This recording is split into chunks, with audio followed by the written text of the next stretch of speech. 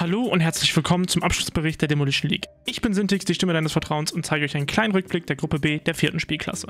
Ich hoffe, die Demolition League hat euch bisher gefallen und dass wir gemeinsam das ganze Season für Season besser machen. Also teilt euer Feedback gerne im Discord mit uns, sowohl zur Liga selbst als auch zu dem Content drumherum. Also starten wir mit einem Blick auf die Tabelle. Auf Platz 1 ist Low Aim Gaming mit 11 Punkten, auf Platz 2 ist Fruchtlabor mit 10 Punkten, auf Platz 3 finden wir Osnabrück Red mit 7 Punkten und auf Platz 4 sehen wir Colby's Legacy mit 6 Punkten.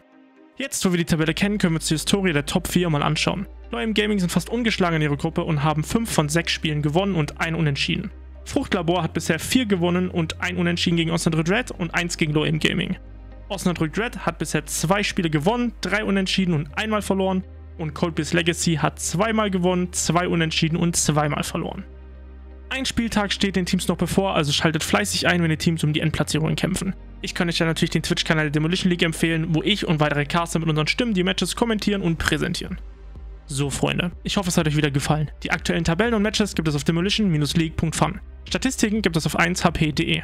Danke an die Demolition League, dass ich Teil des Ganzen sein darf und danke an Sakarium, Geldpilot24, Gamers Night und GoBig, die das Ganze mit unterstützen und möglich machen. Ebenso danke an die Zuschauer und Teilnehmer. Bis zum nächsten Mal, euer Syntax.